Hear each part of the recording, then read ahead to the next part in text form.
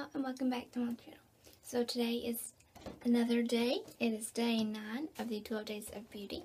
So I thought I would show you guys right real fast what is inside.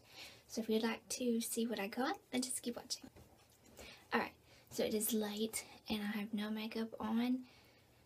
I'm exhausted and I'm about to go to bed, but I wanted to jump on here real quick, show you what has what is inside of day 9. So let's get started. And I've been loving these products and I hope you've been enjoying these little videos.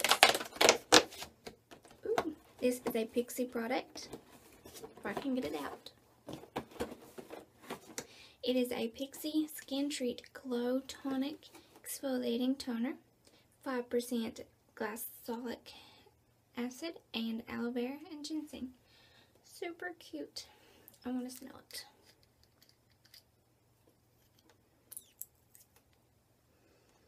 Smells good. Smells pretty. Smells healthy for you.